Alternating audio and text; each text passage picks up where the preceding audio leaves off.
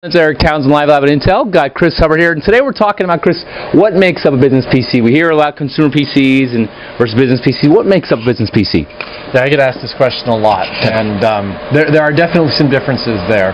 Uh, even though the insides, you know, some of the computer chips and stuff are the same, um, there are some dramatic differences that can not only give you a different experience, but really end up costing you a lot more money in the long run. So you, you want to be aware of this. Okay. So the first thing is let's start with the chips themselves. Uh. Business PCs tend to have more manageability and more security than a consumer PC. And what do you mean by that? What's manageability? What would what would be Well, a technology? So the Intel vPro technology would be Okay. the, the best example of that.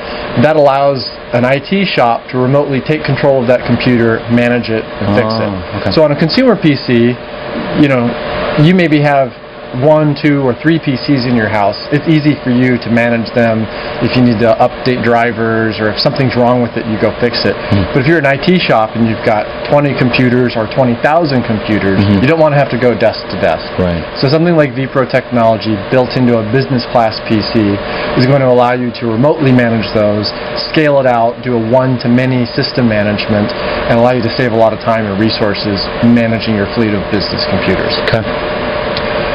Beyond just the, the silicon aspect, there's the actual complete computer itself, and that's where a lot of differences happen.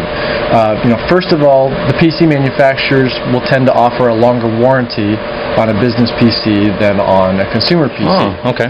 So three years is pretty typical. A lot of businesses only keep their PCs for three years, so it lines up well. You buy a brand new PC, and for three years, it's under warranty. Mm. Something breaks, it's covered. Mm. You just bake that into your operating costs, and you know that if, as long as you're in that three-year year window, you're going to be covered. And then at the end of three years, businesses will tend to refresh. They get brand new PCs under that warranty. So extended warranties is another big difference. It's consumer. What? It's like about a year. Yeah, usually about a year for a consumer device. Okay. And so in a business environment, you know, two years down the road, Yeah. these things are getting used every day. Yeah. Uh, so business PCs tend to need to be more rugged. So one reason why the PC makers are able to offer a longer warranty on a business class PC is because they make them more rugged. They'll they'll put more, bigger hinges on them that are Mm. that are going to be able to handle opening and closing all day long. Okay. They uh, they make them with removable batteries and access panels so that as an IT person you can get in there quickly, fix it, swap it out, and, and get them back up and running. They have docking connectors so that as you come back to your desk from a meeting, you can dock it, and it'll automatically connect to your external monitors, connect to a keyboard, a mouse.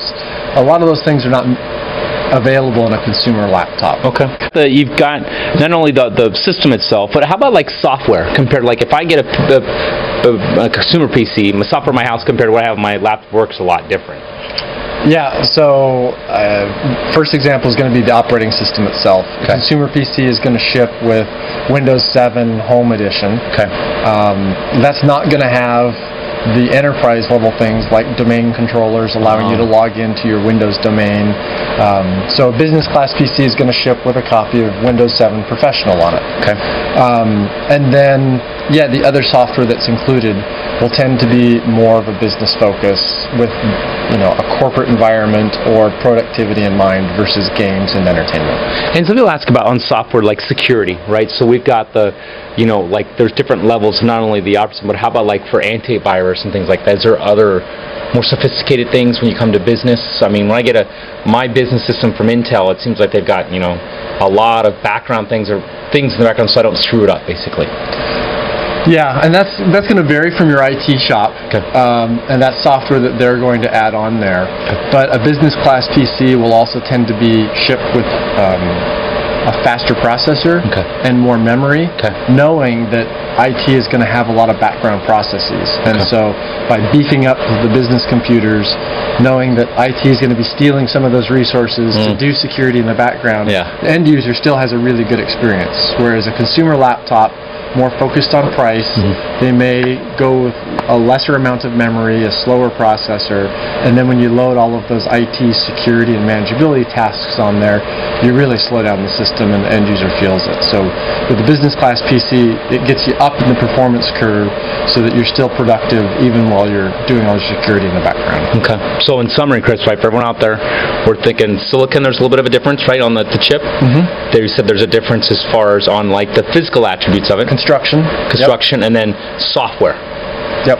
Okay. So, folks, when you're out there thinking about, you know, man, what should I get from a PC perspective? When you're at work, you know, business PC, right? And um, if you haven't seen already, Chris did a, a solid state drive, uh, great little video. Make sure you take a look at that. That's another benefit that you can get with business PC. So, Chris, thanks for your time.